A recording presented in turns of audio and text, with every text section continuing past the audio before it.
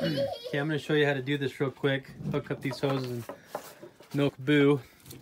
So what I did is I came over here and I grabbed um, a scoop. The scooper's inside there. I grabbed one scoop for Boo, and then I give another scoop for the, the cow and the calves.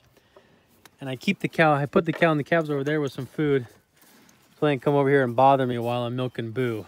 So I give them a little bit of this to keep them in there. Otherwise they'll come over here and try to get Boo stuff and they kind of make a mess. So grab a scoop of this out of there. it's corn, leonardite, and some flaxseed.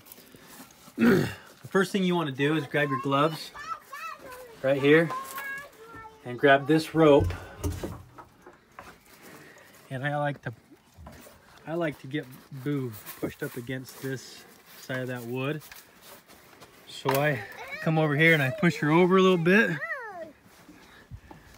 And her legs are just perfect right there. I wrap this around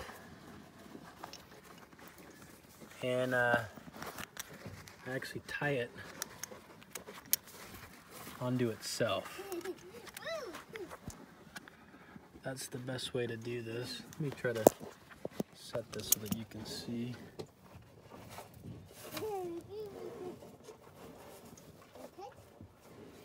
don't know if you can see that, but I'm gonna tie this around and tie it onto itself like that.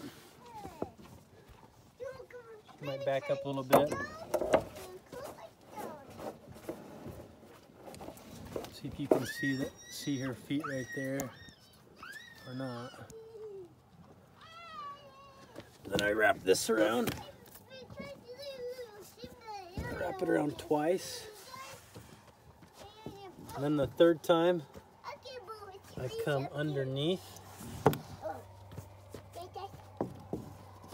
and then tie it onto itself.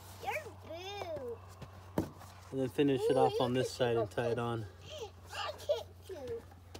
And that keeps it pretty much, she can't kick or move and she knows she's locked in there.